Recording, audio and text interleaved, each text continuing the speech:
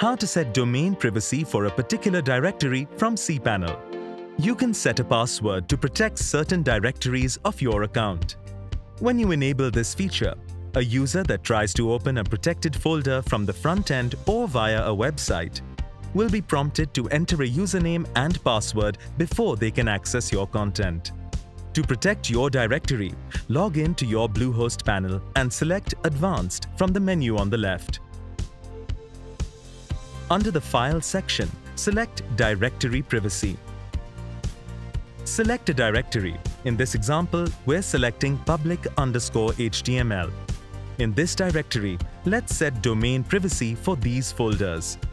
Select Edit to the right of the folder. On the next screen, enable password protection and enter a name for the protected directory. Hit Save. Now, whenever this directory is accessed, a password will be required.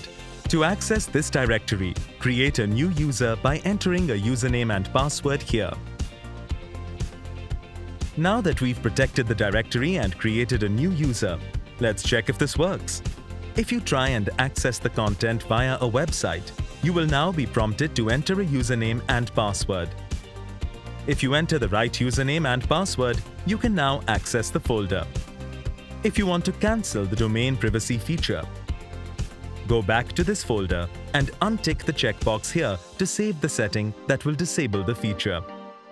We hope you found this video helpful. Subscribe for more helpful tips from Bluehost.